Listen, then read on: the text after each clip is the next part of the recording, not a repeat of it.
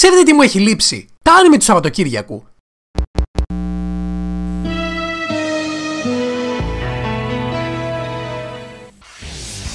Αχ, αυτές ήταν εποχές. Το Σαββατοκύριακο μπορούσε να ανοίξεις την τηλεόραση και να δεις τα καλύτερα με τις καλύτερες μεταγλωτήσεις. Εποχές όπου η τηλεόραση είχε παιδικές ζώνες και δεν απευθυνόταν μόνο σε μονοψήφιο αριθμό ηλικιών. Φυσικά ξέρω ότι τίποτα δεν είναι καλύτερο από το να ανοίγεις το PC σου και να βλέπεις ό,τι θες όποτε θες, αλλά τότε όλη η φάση του να ξυπνάς, να βλέπεις την αγαπημένη σου σειρά και μετά να περιμένεις με ανυπομονησία μία εβδομάδα για τη συνέχεια έδινε μια αίσθηση μοναδικότητα στην εμπειρία σου. Το καλύτερο σε όλη αυτή τη φάση ήταν ότι μιας και όλα τα κανάλια προσπαθούσαν να τραβήξουν κόσμο, για μια περίοδο η ποιότητα δεν σταμάταγε να ανεβαίνει. Το Mega είχε τα Transformers και το Genshin, ο Antenna είχε τη Sailor Moon και το Dragon Ball, το Alter είχε το One Piece και το Melon Nodi.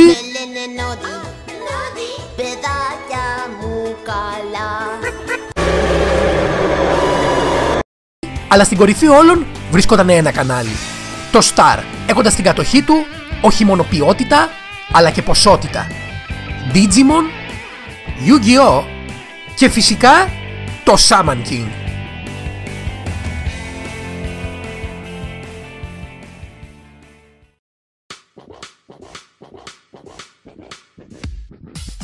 Το Shaman King είναι ένα μάγκα που εκδόθηκε από το 1998 μέχρι το 2004 για το περιοδικό Weekly Shonen Jump από τον Hiroyuki Takei.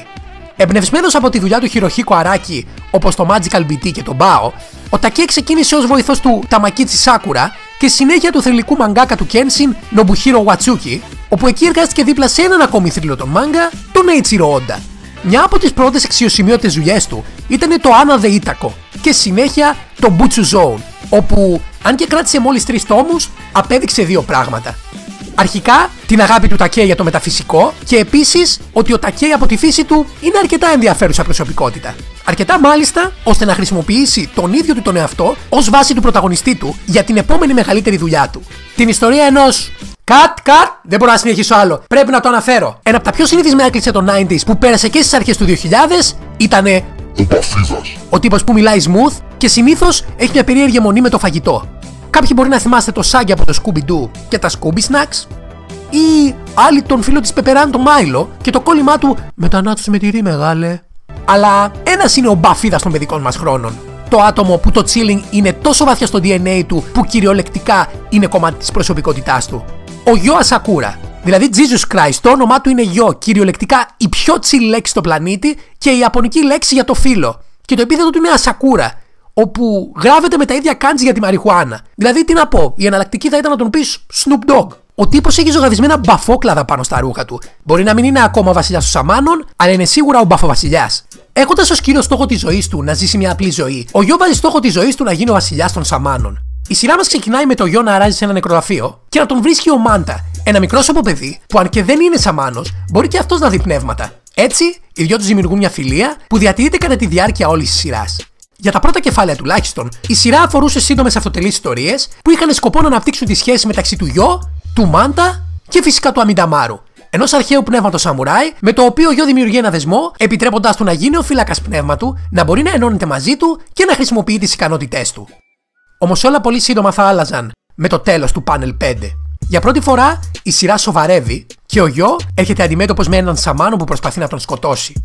Μιλάμε ότι από γέλια και χαρές βλέπουμε το γιο στο νοσοκομείο μετά το μαχαίρωμα του Ρεν, που παρεπιπτόντως έχει πολλά κοινά με έναν άλλον αγαπημένο Σόνεν χαρακτήρα. Αλλά αυτό δεν ήταν το τέλος. Σύντομα μια δεύτερη μάχη συμβαίνει και ο γιο είναι ο νικητής. Αν και νικημένος, ο Ρεν υπόσχεται να επιστρέψει για εκδίκηση και βλέποντας τον γιο, μας αφήνει τα πρώτα στοιχεία για το τι κάνει έναν Σαμάνο Σάμαν King.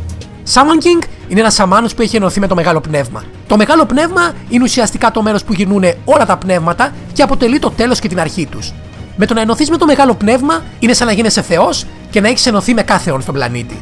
Και στην περίπτωση του γιο, η θέλησή του να γίνει βασιλιάς πηγάζει από την ανάγκη του να τσιλάρει. Έτσι, με τη βοήθεια της μισθής του της Άννα, αρχίζει να προπονείται ώστε να γίνει βασιλιάς. Και ναι, θυμάστε το σύντομο μάγκα του Τακέι. Σε μια δόση ρομαντισμού και πιθανότατα θέλοντας να φέρει πίσω έναν χαρακτήρα που αγαπάει, ο Τακέι αποφάσισε να παρουσιάσει ξανά την πρωταγωνίστρια του από την προηγούμενη ιστορία αλλά ως λιγότερο κορίτσι που αναζητάει περιπέτεια και ως περισσότερο τη τζίτσι από τον Dragon Ball. Ήδη η σειρά έχει αρχίσει να μετατρέπεται σε ένα καθώς πρέπει battle manga και το μόνο που έλειπε ήταν η αρχή του τουρνουά. Με το αστέρι να περνάει ανακοινώνοντας την έναξη του τουρνουά των Σαμάνων, εμφανίζονται επίσης και δύο πολύ σημαντικοί όροι σε αυτή τη σειρά. Το Φουριόκου και το Oversoul. Ω τώρα, ο γιο πολεμούσε ενώνοντας με τον Αμινταμάρου. Αλλά αυτό δεν ήταν αρκετό. Στο τουρνουά αποκαλύπτεται ότι το κύριο όπλο του Σαμάνου είναι το Oversoul. Ή αλλιώς το να προσθέτεις ένα πνεύμα μέσα σε ένα αντικείμενο που ταιριάζει, δίνοντάς του φυσική υπόσταση και επιτρέποντάς του να πάρει μορφή. Τι μορφή ρωτάτε, τα πάντα. Ακολουθώντας ένα παρόμοιο μονοπάτι με τον N, το Oversoul επιτρέπει σε ένα Σαμάνο να μετατρέψει ένα πνεύμα σε ό,τι αυτός επιθυμεί, με μόνο περιορισμό τη γνώση του και την ίδια του τη φαντασία. Ένα σαμουράι μπορεί να γίνει σπαθί, αλλά επίσης και ασπίδα, αν αυτό είναι που επιθυμεί ο σαμάνος του. Ένα αυτοκίνητο μπορεί να μεταμορφωθεί σε έναν άγγελο, σε έναν δορυφόρο ή ακόμη και σε μία μαύρη τρύπα. Η αλήθεια όμως είναι ότι για να πετύχει όλα αυτά, ο Σαμάνος χρειάζεται το φουριόκου. Ουσιαστικά είναι το μάνα του Σαμάνου που τροφοδοτεί το oversoul του και του επιτρέπει να κάνει τη φαντασία του πραγματικότητα. Και έτσι η ιστορία μας συνεχίζεται παρουσιάζοντας μια μεγαλύτερη πλοκή, δυνάμεις που ξεπερνούν την ίδια την ύπαρξη και κυριολεκτικά έναν από τους καλύτερα γραμμένους ανταγωνιστές σε όλο τον κόσμο των μάγκα. Τον Χάο. Φανταστείτε τον κύρα Γιωσικάγε του Τζότζο, αλλά με τη δύναμη να καταστρέφει πλανήτες. Με το Shaman King να χτυπάει ρεκόρ και να έχει ήδη μπει στις καρδιές των fans, το μόνο που ανέμενε ήταν να μεταφερθεί σε άνιμε.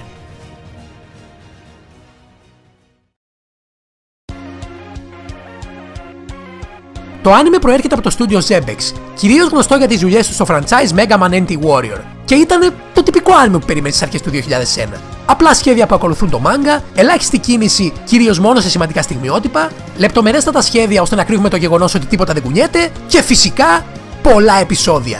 Είναι η τυπική σειρά που ξεκινάει ενώ το μάγκα εκδίδεται, το ακολουθεί πιστά, προσθέτοντας εδώ και εκεί μικρές φιλέρ σκηνές στυλ Dragon Ball, ελπίζοντας να χρησιμοποιήσουν ένα επεισόδιο όσο λιγότερα πάνελ του μάγκα γίνεται, και τέλος, ανάλογα με την πορεία του μάγκα, να μας δίνει ένα εναλλακτικό filler τέλος, ώστε να μας προωθεί να αγοράσουμε το μάγκα και να δούμε το πραγματικό τέλος. Ξέρω, περίεργο μοτίβο. Όμως πρέπει να καταλάβετε, αν και στην εποχή μας το μοντέλο των λίγων επεισοδίων ένα σεζόν είναι πιο δημοφιλές, επιτρέποντας σε ένα στούντιο να δουλεύει σε μία σειρά με λίγα επεισόδια για αρκετό χρόνο, εξασφαλίζοντας έτσι καλύτερο animation και σχέδιο, δεν είναι το πιο επικερδές για τα στούντιο.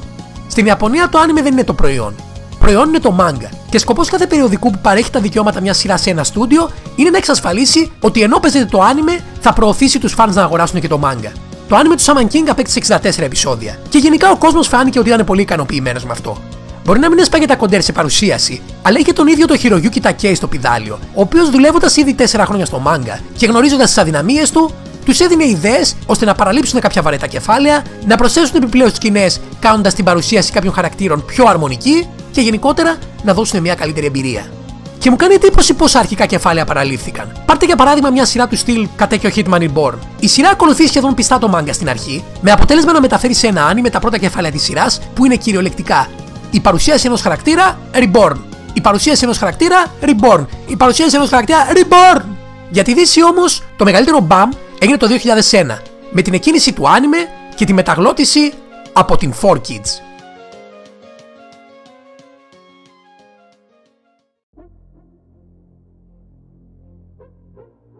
Γύρω στο 1998, μια αμερικάνικη εταιρεία με το όνομα 4Kids σκέφτηκε Hm, το animation είναι ακριβό.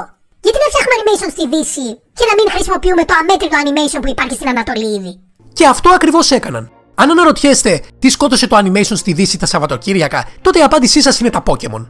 Έτσι, οι 4Kids μέσα σε πολύ λίγο χρόνο απέκτησαν τα δικαιώματα μεταγλώτησης πολλών σειρών και από μια μικρή εταιρεία μετατράπηκαν σε έναν κολοσσό. Ένα ιδιαίτερο χαρακτηριστικό της 4Kids ήταν η μανία τους να εξαφανίζουν ιαπωνικό υλικό από τα ιαπωνικά άνιμε. What? What the fuck? Ναι, μπορεί να ακούγεται κουτό, αλλά σε αυτό το σημείο όσοι βλέπετε άνιμε στο YouTube σίγουρα έχετε πέσει πάνω στη δουλειά τους. Αφαίρεση όπλων, αλλαγή μουσικής σε πιο αμερικανικά standards, κάνοντας τα πιστόλια να δείχνουν σαν δάχτυλα και μετατρέποντας αυτό σε λουκουμά. Νομίζατε ότι το σβήσιμο του τσιγάρου του Τζόταρο στην τρίτη σεζόν του Τζότζο ήταν περίεργο; Η Forkit στο One Piece άλλαξε το τσιγάρο του Σάντζι σε γλυφιτζούρι.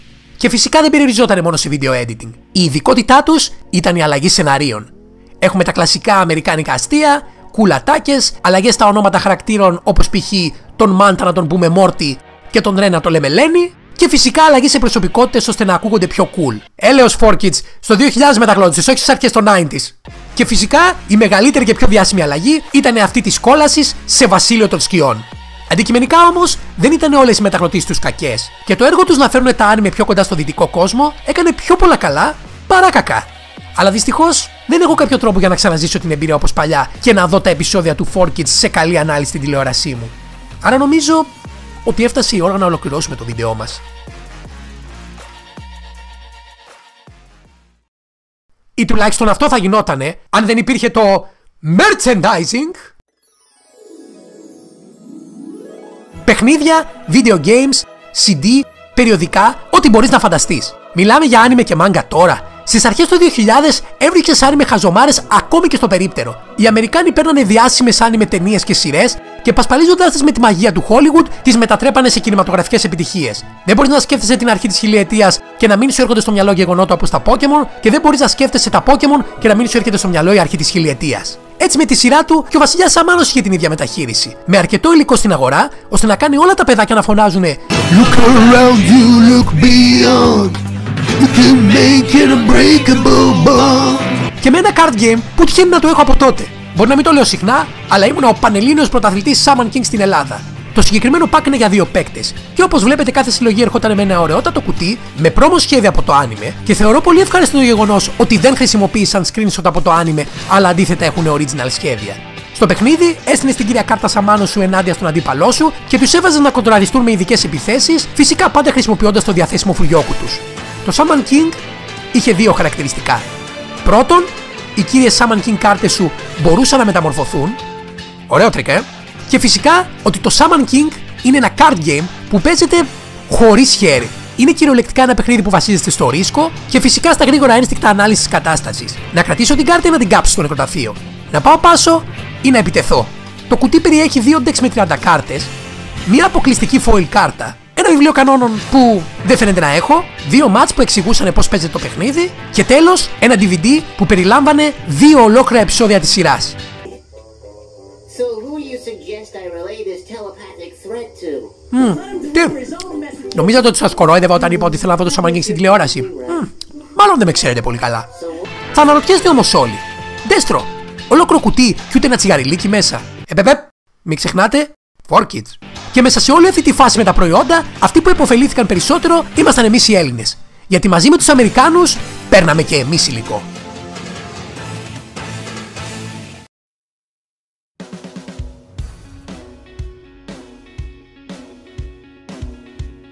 Η Ελλάδα είχε ζεσταθεί πολύ με τα κινούμενα σχέδια στις αρχές του 2000, με το Star να τα δίνει όλα για όλα και κυριολεκτικά να έχει τη μεγαλύτερη παιδική ζώνη, καταφέροντας να μαζέψει όχι μόνο τις καλύτερες, αλλά ταυτόχρονα και τις καλύτερα μεταγλωτισμένες σειρές. Έτσι με τη σειρά του το Saman King έκανε και αυτό την εμφάνισή του στην Ελλάδα, και για ανεξήγητο λόγο μεταφράστηκε σε Σαμανο πρίγκιπα.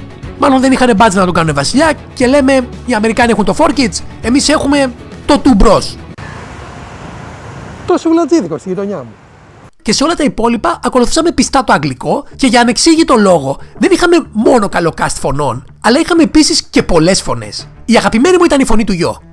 Ξέρει κανείς ποιος τον έκανε; Για μία περίοδο, πραγματικά η εμπειρία ήταν εκπληκτική. Το Summon King παίχτηκε αρκετά στην ελληνική τηλεόραση και ασχέτως αν μετά από ένα σημείο παίζονταν σε επαναλήψεις μέχρι να έρθουν νέα επεισόδια ή το βάζανε τα ξημερώματα, η σειρά υπήρχε. Αλλά αυτό δεν θα κρατούσε για πολύ. Όσο και αν περιμέναμε, η μεταγλώττιση δεν φαινόταν να προχωρούσε.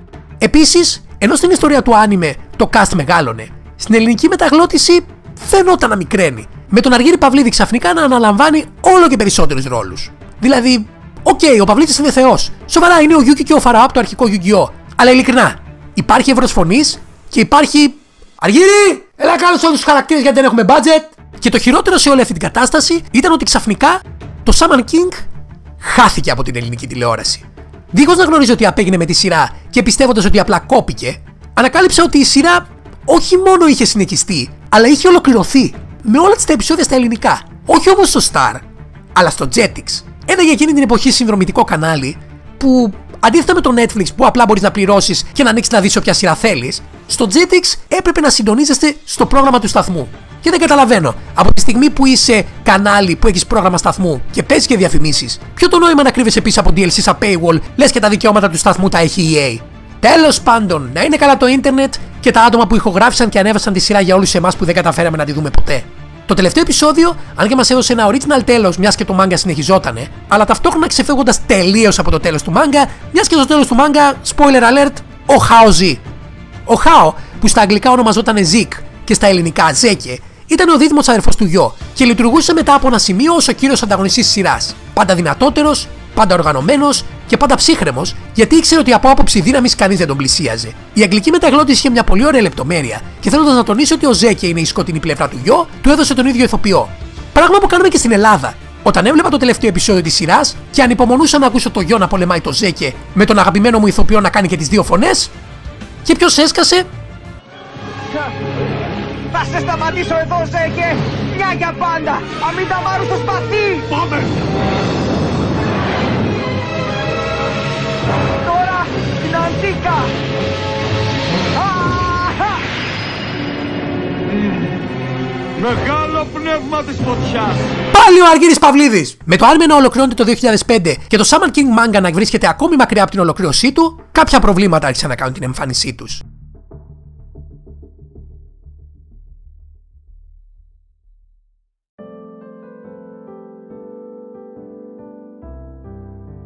Το 2004 και χωρίς αρκετές εξηγήσεις, ο Χειρογιούκη Τακέι ανακοίνωσε ότι λόγω της επιρροής που είχαν οι φαν στο έργο του και το γεγονός ότι η σειρά κατευθυνόταν όλο και περισσότερο προς ένα σόνεν μοτίβο που αυτός δεν ήθελε, αποφάσισε να σταματήσει τη δουλειά του.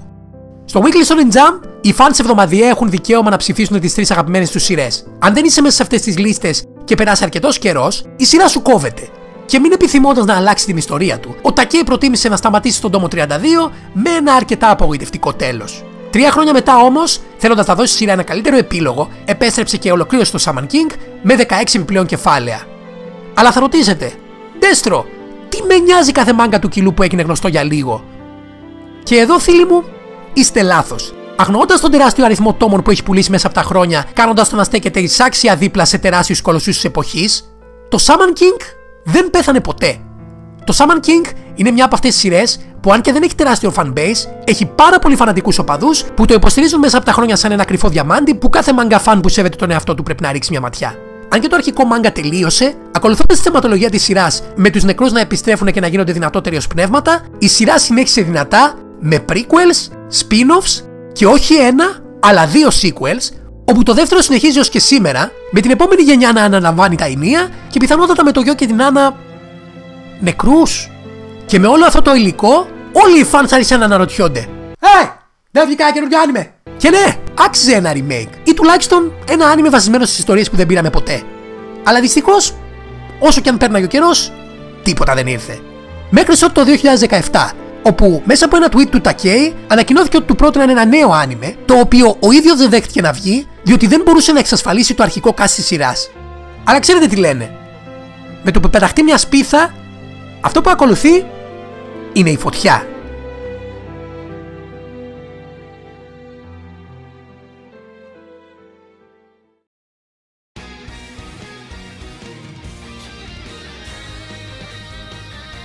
Το 2020, κυριολεκτικά από το πουθενά, άρχισαν να εμφανίζονται πρόμο σχέδια για μια νέα σειρά. Το community ζητοκράβγασε. Επιτέλους, ο βασιλιάς επέστρεψε. Ένα αδικημένο διαμάντι επιτέλους θα πάρει την περιποίηση που του αρμόζει. Νέο άνιμε Shaman King που θα λέει από την αρχή όλη την ιστορία του manga και θα χρησιμοποιεί και το πρόσφατο σχέδιο του Takei. Απλά πανέμορφο. Το πρώτο teaser ήταν ένα σύντομο κλιπ με τα πάνελ του manga να κουνιούνται ψηφιακά στο πρώτο opening της σειράς, αλλά η βόμβα έπεσε στο δεύτερο. Με τον γιο, πρώτη φορά animated στο μοντέρνο του στυλ, να χρησιμοποιεί ένα oversoul που δεν είχαμε δει ποτέ και με τον Χάο και με την Άννα να δίνουν καλύτερη από ποτέ. Όμορφη σκίαση, χρώματα στα oversouls που είναι πιστά στο manga και λεπτομέρεια στα μάτια. Ειλικρινά δεν υπάρχει τίποτα αρνητικό που μπορώ να πω. Και ήμουν σίγουρος ότι τίποτα δεν θα πάει στραβά. Μέχρι ότου μάθαμε τα πάντα για τη σειρά. Αρχικά μάθαμε ότι τα δικαιώματα της σειράς ανήκαν στο Netflix. Και δυστυχώς το Netflix της Ιαπωνίας και τα άνιμε δεν έχουν καλή σχέση. Διότι το Ιαπωνικό Netflix έχει την κακή συνήθεια να κρατάει τα επεισόδια του κρυφά από τις υπόλοιπες χώρες, κυκλοφορώντας τα μόνο όταν έχουν ολοκληρωθεί και έχουν πλήρως μεταγλωτιστεί. Μην το θεωρήσετε περίεργο αν το Summer King κυκλοφορήσει το 2022 και το Netflix γράφει ολοκένουργια σειρά που βγήκε τώρα. Δεύτερον, ήταν το στούντιο. Το στούντιο που δουλεύει στο Summer King είναι το Bridge. Ένα πρώην υποστούντιο της A1 που ουσιαστικά αναλάμβανε ό,τι σειρά η A1 δεν ενδιαφερόταν να ολοκληρώσει. Με τη μεγαλύτερη σειρά του στούντιο μέχρι και σήμερα να είναι η τρίτη σεζόν του Fairy Tail. Αλλά ποιος ξέρει, τώρα που είναι αυτόνομοι, ίσως έχουν αλλάξει. Θα ήθελα να είμαι όσο πιο αντικειμενικός γίνεται, γιατί μέχρι τώρα, δηλαδή την κυκλοφορία του επεισοδίου 9, υπάρχουν πολλά θέματα που πρέπει να συζητήσουμε. Το κύριο θετικό της σειράς είναι φυσικά ότι ακολουθεί το manga. Στο παλιό manga, αν και υπήρχαν πολλές σκηνές που είχαν αφαιρεθεί από τη 4Kids, η αλήθεια είναι ότι ακόμα και η ιαπωνική έκδοση είχε αλλάξει κάποια γεγονότα. Κυρίως όσο αφορά τη βία. Το Shaman King, αν και η σειρά που εκδιδόταν στο Shonen Jump, δεν τρεπόταν να δείξει πόσο βίο είναι ή να αναφέρει προβλήματα του κόσμου, δείχνοντά μας πολιτική ή ακόμη και καρτέλ ναρκωτικών. Γενικότερα, η ακρίβεια προς το μάγκα είναι το κύριο μέρος της θεματολογίας όσων προσπαθούν να υποστηρίξουν τη σειρά και θέλω να το επιβεβαιώσω.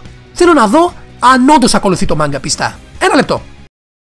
Shaman King Manga Read Greek. Hm. Καλή φάση. OK, okay, δεν υπάρχει μάγκα κάπου στα ελληνικά.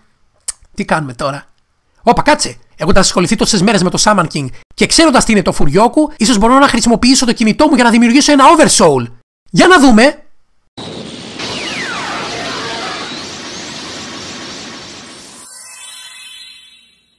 Wow! Το κινητό μου μεταμορφώθηκε σε ένα κουτί.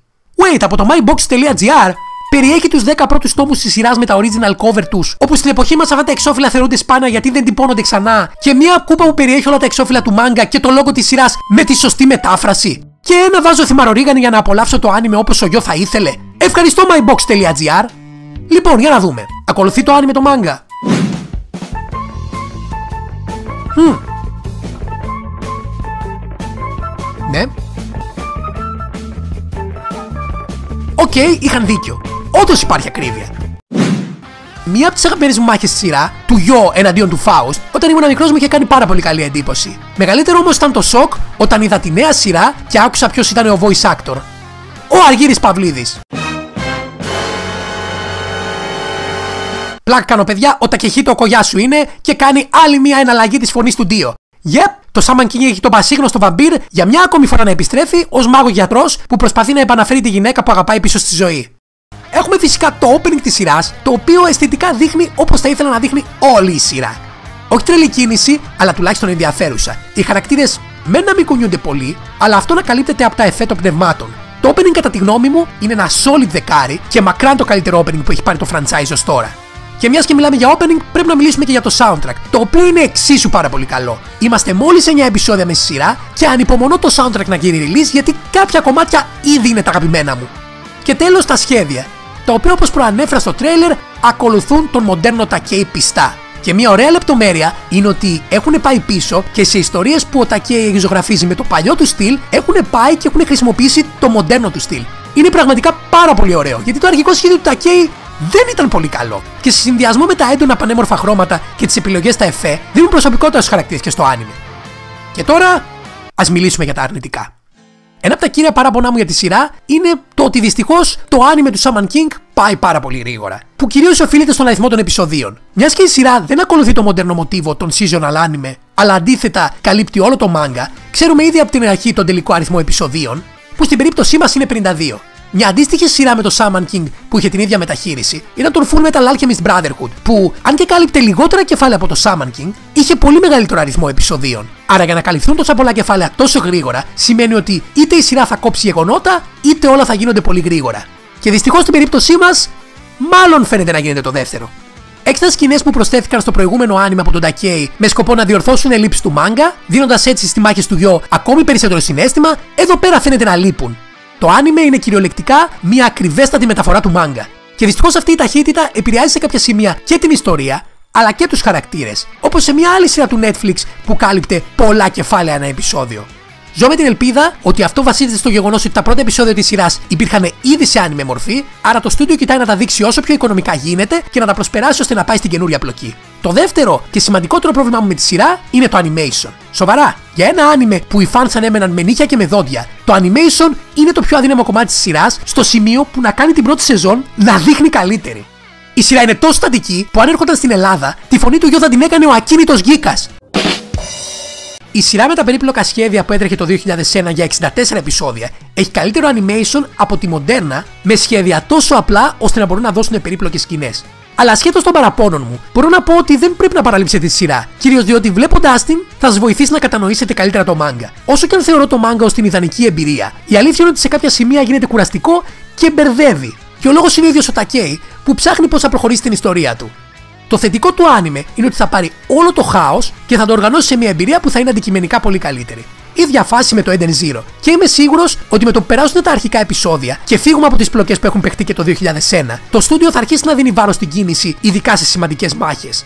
Με το Summon King να επανεκδίδεται ξανά στα αγγλικά σε 3 σε 1 εκδόσεις από την Kondassan, είμαι 100% σίγουρος ότι θα κοιτάξουν να προωθήσουν τη σειρά όσο καλύτερα γίνεται. Άρα αναμένω, τουλάχιστον στον αισθητικό τομέα, η εμπειρία να βελτιωθεί πολύ σύντομα.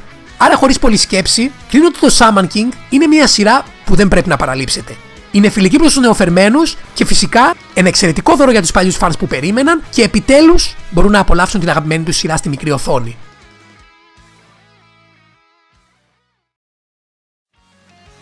Λοιπόν, τα καταφέραμε. Άλλη μια σειρά γίνεται βίντεο και αν και η έρευνα μου πήρε αρκετό καιρό, μπορώ να πω ότι ήταν ένα από τα πιο διασκεδαστικά κομμάτια. Θα ήθελα να δώσω ένα τεράστιο ευχαριστώ στο mybox.gr που μου πρόσφεραν το manga box του Σαμάνου Βασιλιά για αυτό το βίντεο. Είναι απίστευτα γρήγοροι στην επικοινωνία και ειλικρινά προσφέρουν εκπληκτικές τιμές για την ποσότητα και την ποιότητα του προϊόντος που δίνουν. Με μια απίστευτη ποικιλία προϊόντων που δεν περιορίζονται μόνο σε άνιμε, αλλά επίσης σε κόμιξ και πολλά άλλα. Με πάντα μέσα στα κουτιά τους ένα μικρό έξτρα δώρο και φυσικά όλα στα ελληνικά. Αν θέλετε να κάνετε ένα δώρο σε κάποιον φίλο σας ή θέλετε στα γρήγορα να αρχίσετε να χτίζετε τη μάγκα συλλογή σας, τότε σας έχουν καλυμμένους. Θα αφήσω ένα link στην περιγραφή του βίντεο αν έχετε σκοπό να περάσετε από τη σελίδα τους και αν το κάνετε, πείτε τους ότι σας έστειλα. Και ποιος ξέρει, μπορεί να με καλύψουν με τον Μπερζέτ για το μελλοντικό μαφίερωμα στο Κεντάρο Μιούρα. Από Μαζίνγκερ Ντέστρο, γεια σας!